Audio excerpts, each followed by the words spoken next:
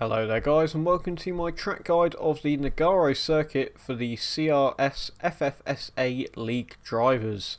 Nogaro is a relatively flat flowing circuit with only 6 meters difference in elevation change between its highest and lowest points.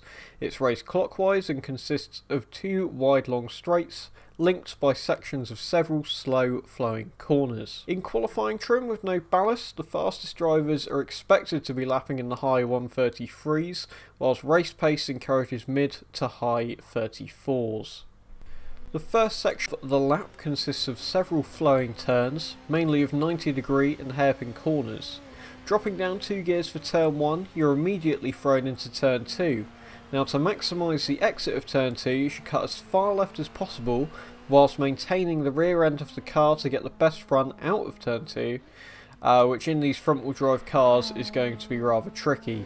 Turn 3 arrives after a sudden drop in elevation, which if unaware can throw the rear end out and you'll find yourself turning in before it feels right to gain the most out of this corner.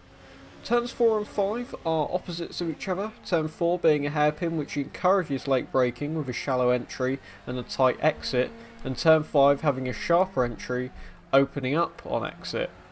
After a kink to the right you're fired onto the wide straight for a breather. Braking heavily just before the 100 meter board, you want to trail brake the car deep into the corner, picking up the throttle and using as much curb on exit as possible. Next, once again, is a small flick to the right, which should be taken at full throttle before braking into the sharp acute left. Following the outside of the track, you should push the limit of the curbing on corner exit for the following left, keeping the car pinned, aiming for the racing line. The next double right-hander should be taken following the curbing on the inside entry. You'll see that the curbing follows the entry of the corner and then tightens.